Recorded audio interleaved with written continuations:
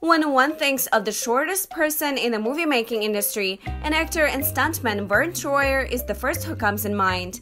Despite his height of just 81 centimeters, he reached international fame due to the role of Mini-Me in Austin Powers. The future movie star was a real gift to the parents. He was growing up at a farm with two more siblings and never had any indulgences because of short height. He was on equal footing with the rest of the kids, and that's what helped him to be strong, confident, and independent. He never dreamt of becoming an actor or a stuntman, and so never in his life attended any acting classes. However, it all changed in 1994 when he debuted in a movie called Baby's Day Out. His friend told him of an opportunity to play a double for a baby, and that's how his professional career started. But having a successful career doesn't necessarily mean to be in peace with own life.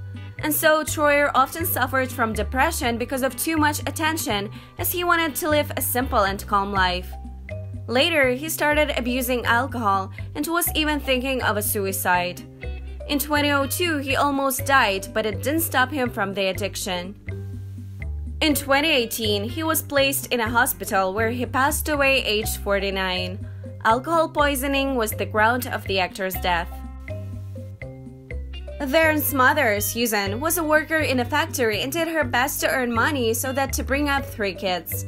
Even though they were always short of money, they always remained close. The celebrity's dad, Ruben, worked as a technician. Together with a spouse, Ruben raised Verne the same way as other kids, telling him he can reach any goal he just wants and that he is no different from anyone else. The death of a son made both parents really devastated, since it was hard to accept Verne is no more with them.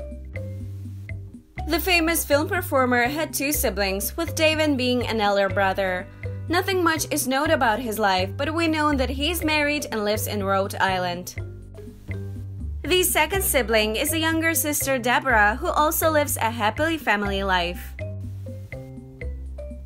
Troyer was married only once to a model Genevieve Gallen.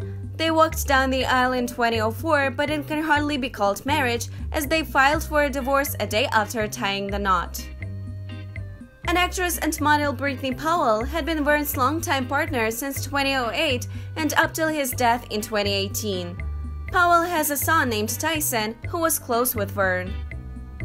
As for Troyer, he didn't have biological children. That is all. Don't forget to subscribe to our channel.